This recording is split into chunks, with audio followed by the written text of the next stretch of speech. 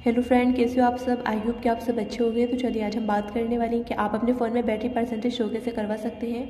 इसी वीडियो में हम आपको बताने वाले हैं वीडियो की पूरी जानकारी के लिए वीडियो लास्ट ज़रूर देखना है। बहुत सिंपल सिंपल स्टेप हैं जो आपको देखनी है फॉलो करनी है। अगर आपने अभी तक हमारे चैनल को सब्सक्राइब नहीं किया है तो आपसे रिक्वेस्ट है कि आप हमारे चैनल को सब्सक्राइब कर लें, आइए वीडियो स्टार्ट करते हैं। आप अपने फ़ोन में बैटरी परसेंटेज शो करवाने के लिए सबसे पहले अपने फ़ोन की सेटिंग को ऑन करेंगे। सेटिंग ऑन करने के बाद में यहाँ से आपको काफ़ी सारे ऑप्शन देखने को मिल जाते हैं, जिसमें से यहाँ से आपको एक ऑप्शन देखने को मिल जाता है। बैटरी का आपको यहाँ पर बैटरी पे क्लिक करना है।